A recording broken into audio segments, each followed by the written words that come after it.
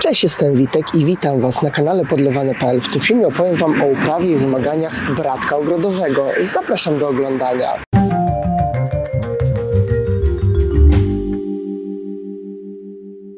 Bratek ogrodowy to w rzeczywistości fiołek ogrodowych, ponieważ roślina ta powstała ze skrzyżowania właśnie trzech dzikich gatunków fiołka. I jest to bardzo popularny wybór do nasadzeń na naszych tarasach i balkonach, zwykle wybierany wczesną wiosną, gdy próżno szukać innych kwitnących roślin. Nie jest to roślina wieloletnia. Jego cykl rozwojowy zwykle trwa dwa lata, gdzie w pierwszym roku bardzo rzadko zawiązuje kwiaty, a w drugim roku po przekwitnięciu zamiera. Swoją popularność zyskał dzięki niskiej cenie i bardzo ładnym kwiatom, które mogą być zarówno większe, jak i mniejsze, jednobarwne lub wielokolorowe. Kwitnienie bratków przypada na okres od marca do maja. Istnieją oczywiście również odmiany później kwitnące, jednak w sklepach ogrodniczych bardzo często te bratki oznaczone są po prostu jako bratek ogrodowy i ciężko będzie nam znaleźć taką odmianę, która będzie kwitła później. Istnieje tak duża ilość odmian bratków, że nie sposób na jednym filmie wymienić wszystkie dostępne w sprzedaży kolory, ale znaleźć tutaj będziecie mogli m.in. żółty,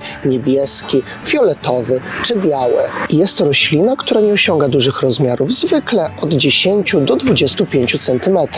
Większość osób bratki traktuje jako akcent kolorystyczny na balkony czy tarasy przed posadzeniem popularnych surfini czy pelargonii. Preferują stanowiska słoneczne, ewentualnie lekko zacienione i sadzić możemy je już od początku marca, ponieważ dobrze znoszą przymrozki do minus 5 stopni Celsjusza. Jest to roślina dosyć delikatna, zatem najlepiej sprawdzi się na zadaszonym tarasie, ponieważ nie lubi takiego podlewania z góry. Dlatego chronić powinniśmy go na przykład przed intensywnymi opadami atmosferycznymi, które mogłyby ją po prostu zepsuć. Takie podlewanie z góry zwiększa też prawdopodobieństwo powstawania różnych chorób, dlatego nie warto tak robić. Sadząc fiołki ogrodowe najlepiej zastosować podłoże lekko kwaśne o pH od 5,5 do 6,5. Świetnie sprawdzi się tutaj zwykła ziemia ogrodowa lub kwiatowa. Przygotowując donicę do sadzenia warto zaopatrzyć się też w perlit, który zwiększy napowietrzenie korzeni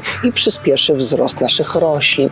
Tutaj możemy pomieszać go przy sadzeniu w proporcjach 20% perlitu do 80% ziemi. Do ważnych zabiegów należy usuwanie przekwitniętych kwiatów, chyba że chcemy z naszych bratków zbierać nasiona, to wtedy nie powinniśmy tego robić. Jeśli chodzi o nawożenie, tutaj możemy zastosować nawozy płynne do roślin kwitnących, które zawsze stosujemy zgodnie z zaleceniami producenta. Bratki możemy również sadzić do gruntu, traktując je jako roślinę jednoroczną. Jeśli mamy problem z podlewaniem, najłatwiejszym sposobem jest po prostu wsadzić palec na brzeg donicy i sprawdzić, czy ziemia w środku jest wilgotna. Jeśli czujemy, że jest wilgotna, wtedy przesuwamy podlewanie na następny dzień. Jeśli czujemy, że jest sucha, to wtedy podlewamy. No i słuchajcie, na dziś to tyle. Ja bardzo dziękuję Wam za uwagę. Wszystkie ważniejsze informacje znajdziecie na dole w opisie filmu, a ja już się z Wami żegnam i do zobaczenia w następnych filmach. Cześć!